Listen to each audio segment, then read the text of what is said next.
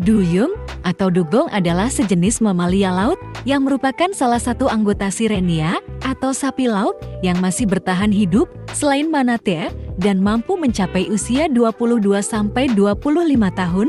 Duyung bukanlah ikan karena menyusui anaknya dan masih merupakan kerabat evolusi dari gajah. Ia merupakan satu-satunya hewan yang mewakili suku Dugongidae.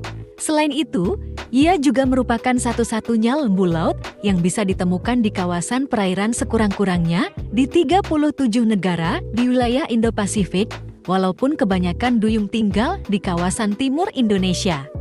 Duyung atau dugong adalah satu-satunya mamalia laut herbivora atau maun pemakan dedaunan dan semua spesies sapi laut hidup pada perairan segar dengan suhu air tertentu. Duyung sangat bergantung kepada rumput laut sebagai sumber makanan, sehingga penyebaran hewan ini terbatas pada kawasan pantai tempat ia dilahirkan. Hewan ini membutuhkan kawasan jelajah yang luas, perairan dangkal, serta tenang, seperti di kawasan teluk dan hutan bakau. Moncong hewan ini menghadap ke bawah agar dapat menjamah rumput laut yang tumbuh di dasar perairan. Duyung semula diklasifikasikan oleh Emler pada tahun 1776 sebagai Trichechus dugon, salah satu ahli genus Manatel yang sebelumnya didefinisikan sebagai Linnaeus. Ia kemudian ditetapkan sebagai jenis spesies dugong oleh Lapidi dan diklasifikasikan lebih lanjut di dalam keluarganya sendiri oleh Gray dan subfamilinya oleh Simpson. Ernst Christoph Bartschewitz menggunakan istilah dugung dan manetik ketika ia tinggal di Pulau Leti tahun 1714 sampai tahun 1720, perkataan dugong dalam bahasa Inggris dan bahasa-bahasa lain berasal dari istilah dalam bahasa Melayu yakni duyung. Kedua-duanya memiliki makna yakni perempuan laut. Duyung menjadi hewan buruan selama beribu-ribu tahun karena daging dan minyaknya. Kawasan penyebaran duyung semakin berkurangan dan populasinya semakin menghampiri kepunahan.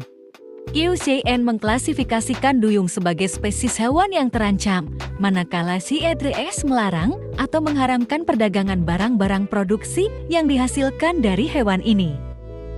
Penyebab utama penurunan populasinya di antaranya ialah karena pembukaan lahan baru, perburuan, kehilangan habitat, serta kematian yang secara tidak langsung disebabkan oleh aktivitas nelayan dalam menangkap ikan. Duyung bisa mencapai usia hingga 70 tahun atau lebih, serta dengan angka kelahiran yang rendah yang mengancam menurunnya populasi duyung.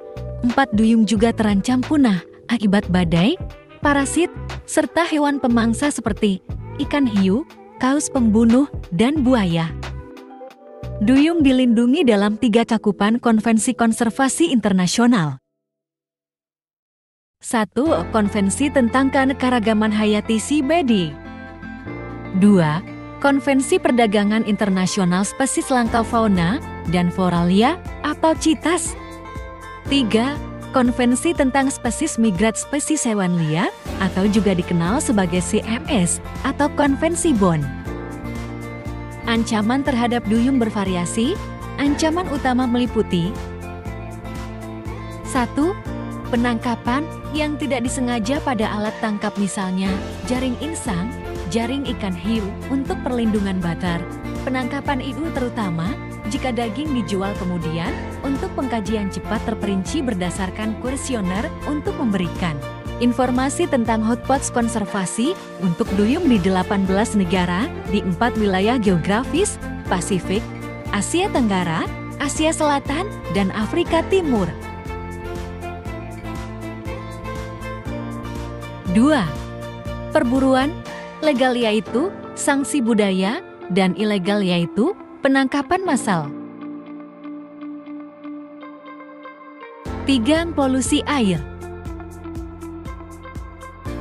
4. Kerusakan laut sehingga membuat hilangnya habitat yang disebabkan oleh pemukiman manusia di pesisir pantai, pelayaran, perikanan penghancur, tsunami, dan sinklon. 5. Ancaman bahan kimia termasuk pembuangan limbah yang tidak diobati, pengerukan, dan reklamasi pesisir, traul darat komersial, polusi pertanian. 6. Perubahan iklim kejadian cuaca ekstrem dan suhu tinggi.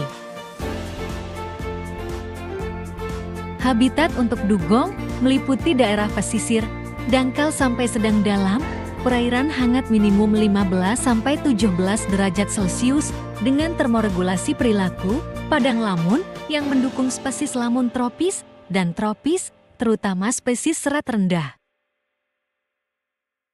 Luluyu menunjukkan variabilitas yang besar dalam pola pergerakan dan migrasi, tergantung pada wilayah dan pengaruh suhu musiman atau curah hujan pada ekosistem.